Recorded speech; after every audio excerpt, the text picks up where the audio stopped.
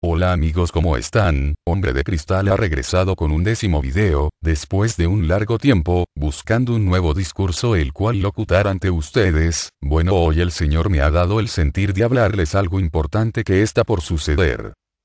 Esto es el rapto de la iglesia, pero antes de que suceda aquella esperanza que tanto como yo, y muchos otros y de pronto usted también, crea que ya llega. Acontecerán sucesos o fenómenos en el cielo, o en la tierra, y no es mentira miremos Lucas 21, 25. Y habrán señales en el sol y la luna. Y es lo que veremos en este décimo video, Joel 2, 31. Y el sol se convertirá en tinieblas, y la luna en sangre antes de que venga el día de Jehová. Entonces ya no tiene que juzgar este video, comencemos.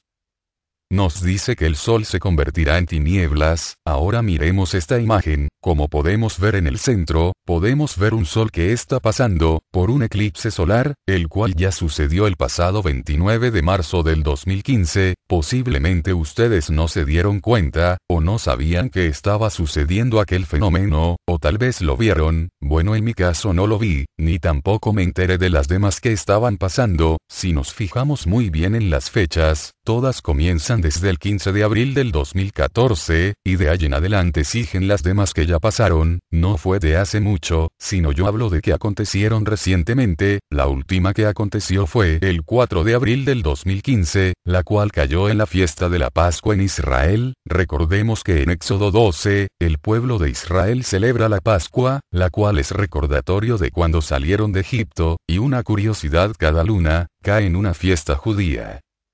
Por ejemplo, la última luna que será el próximo 28 de septiembre del 2015, ese día será la fiesta judía de los tabernáculos, que es la celebración de Israel, cuando pasaron 40 años, caminando por el desierto, y se me olvidó decir que cuando hay una luna de sangre, en Israel hay un nuevo ataque terrorista, protagonizado y dirigido por los grupos terroristas islámicos como lo es Hamas o ISIS.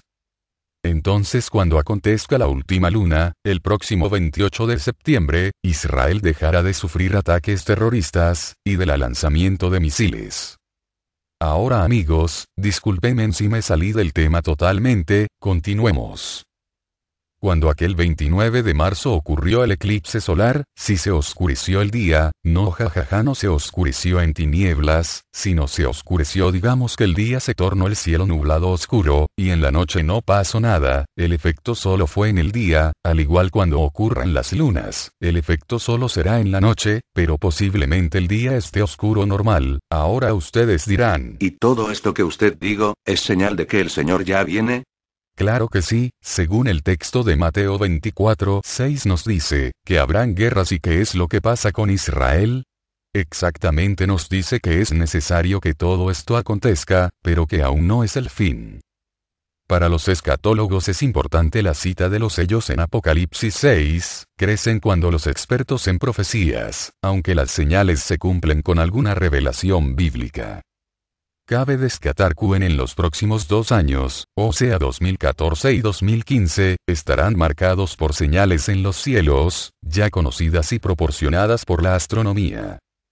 Acabe de decir Apocalipsis 6, lo explicaré, la primera advertencia pasó en 2008, fue por el pastor judío Mark Witz, afirmó que él había hecho un descubrimiento sorprendente, él estaba estudiando todo sobre las profecías de las lunas, desde el Génesis hasta el Apocalipsis, y él descubrió que la Biblia dice, que los astros en el cielo sirven como señales, para las estaciones.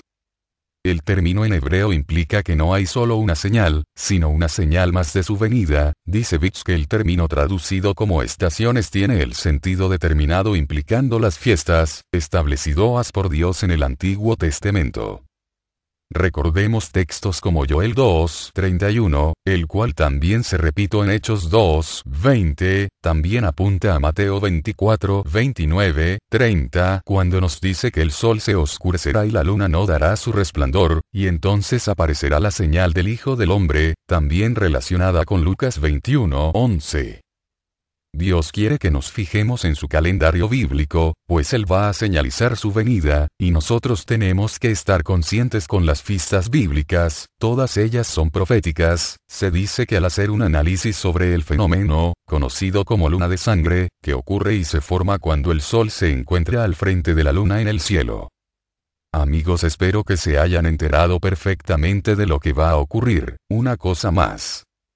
Yo no estoy colocando fechas, simplemente apunto a los días que se cree que van a pasar, no quiero poner fechas para asustarlos, sino para que se afirmen más en Dios antes de su venida, posiblemente ocurra ese día la venida del Señor, como tal vez no.